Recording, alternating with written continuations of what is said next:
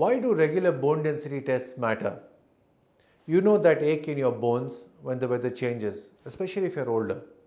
What if I told you that could be your bones telling you that there is something more important and impending?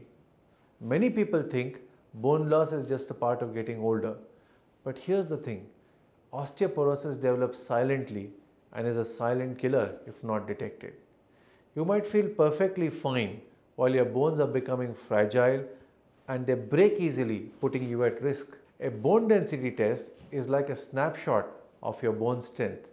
It measures how dense your bones are compared to a young, healthy adult. The test is quick, painless, and uses a very low fraction of X ray when it is done in the form of a DEXA, which is a dual emission X-ray absorptiometry and a confirmatory test. In the OPD, quickly we can detect using ultrasounds, what we call as BMD. Women over 65 and men over 70 should get tested. But if you have risk factors like family history or are taking certain medicines like steroids or you feel that you have attained menopause early, you may need to test earlier. Think of it as an early warning system for your bones. Catching bone loss early means you can take action to keep your skeleton strong. After all, prevention is better than cure.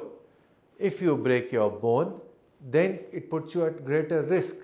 Like people get screened for heart problems and for neurological, you must also get screened for bone issues. Preventing a bone attack is better than actually suffering it.